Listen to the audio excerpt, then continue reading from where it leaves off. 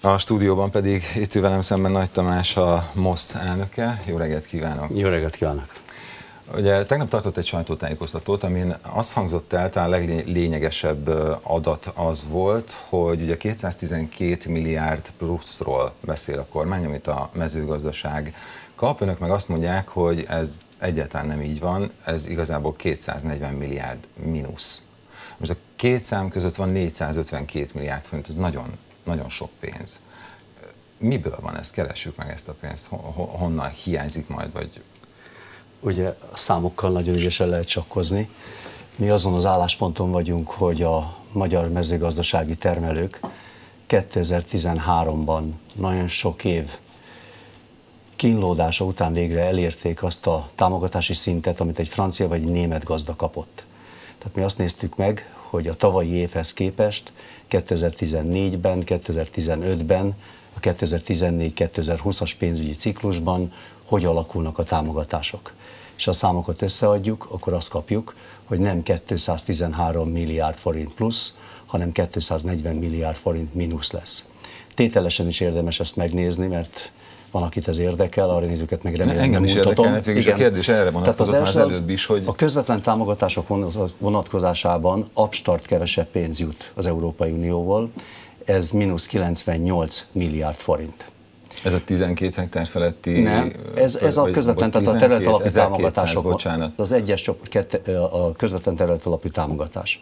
A vidékfejlesztési támogatásnál mínusz 133 milliárd forintról van szó, a vidékfejlesztés nemzeti kiegészítése az mínusz 161 milliárd forint, és az ígért nemzeti támogatás az plusz 154 milliárd forint. Ha a számokat össze, az, az 238 milliárd forint mínuszt jelent. De akkor a kormány miért mondja, hogy plusz 212 milliárd? Tehát ők Szerintem mire hivatkoznak, vagy ők hogy számolják? Ők azt mondják, hogy az előző pénzügyi ciklust, ha egészbe veszem, és az új pénzügyi ciklust, ha egészbe veszem, akkor többletet tudnak kimutatni. De még egyszer mondom, olyan éveket számolnak, amikor a magyar gazdák nagyon méltatlanul sokkal kevesebb támogatásban részesültek, mint a régi európai gazdák. Hogyha valóban ekkora különbség van között a két összeg között, akkor ennek valamilyen úton, meg kell jelennie a, a hétköznapokban is, vagy a, a gazdáknál. Ez hogyan fog megjelenni ön szerint? Én azt hiszem, hogy ugye egy többtételes dalműről beszélünk. Ez esetben eddig azt beszéltük meg, hogy mennyi pénz áll összességében rendelkezésre. De van egy másik nagy koncepció, ami végigfut ezen a pénzügyi cikluson, ez a támogatások elosztásának a kérdése. Tehát valójában nagyon nehéz lesz évet évvel összehasonlítani, hiszen a kormány bejelentése szerint az 1200 hektárnál több területet művelő gazdaságok esetében a terület alapú támogatás lényegesen le fog csökkenni, gyakorlatilag elveszik az egészet. Ilyen értelemben tehát azt tudom mondani, hogy aki 1200 hektár alatt gazdálkodik, az valószínűleg akár pénzügyi többlethez is juthat, 1200 hektár fölött biztos, hogy veszteséget fognak elszenvedni. Több ágon fogják ezt elszenvedni. Elszenvedik a terület alapú támogatásoknál, hiszen ott 100%-kal csökkentik a támogatásukat az 1200 hektár fölötti területeknél. Elszenvedik a vidékfejlesztés tekintetében, ahol nagyon súlyos problémák vannak. Az első probléma az, hogy gyakorlatilag elfogadott vidékfejlesztési program Magyarországon nincs. Tehát ha valaki ismeri az Európai Unió adminisztrációját, az pontosan tudja, hogy 2015-ben kifizetésekre nem nagyon számíthatunk. Nagyon komoly gondok lesznek a nemzeti kiegészítéseknél, a nemzeti forrásból származó pénzeknél, hiszen itt vannak függő tételek.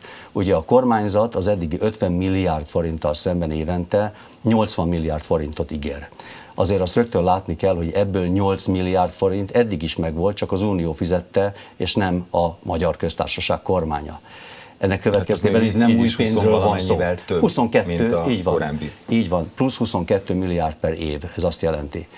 Azonban vannak itt olyan tételek, mint például az úgynevezett anyakoca jóléti támogatás, ami 8 milliárdos összeg, és jelen pillanatban tárgyalás alatt áll az Unióval. Nem gyáltalán nem tudjuk, hogy ezt a jogcímet befogadják-e vagy sem. Mi nagyon optimisták voltunk, azt mondtuk, hogy be fogják fogadni, és ennek végeredményeként mondtuk, hogy mínusz 238-240 milliárd forinttal kell szembenéznünk, ennyi mínusszal kell szembenéznünk a következő pénzügyi ciklusban. Van egy harmadik nagyon fontos tétel, az úgynevezett AKG, Az Agrár Környezet Gazdálkodási Program.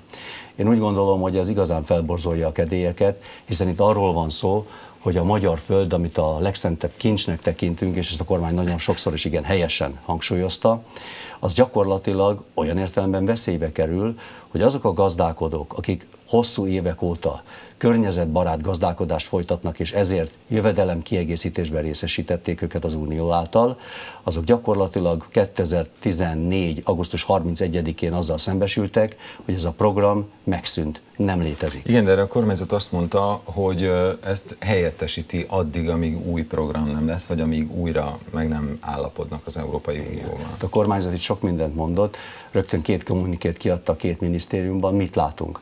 Az előző pénzügyi ciklusban 350 milliárd forintot adtak erre a célra, és az ő terveik szerint és gondolataik szerint, tehát gondolatokról beszélünk, és nem tervekről, és nem kimunkált, meghirdetett programokról, 170 milliárd forintot hirdettek meg. Ez jóval lehet, kevesebb, mint jóval kevesebb, volt. de lehet, hogy azért hirdettek meg kevesebbet, mert kevesebb ilyen terület van, nem? Tehát arról hallottunk, hogy most a földbéleti pályázatokon azért szüntek meg olyan gazdaságok, amelyek éppen ezzel foglalkoztak.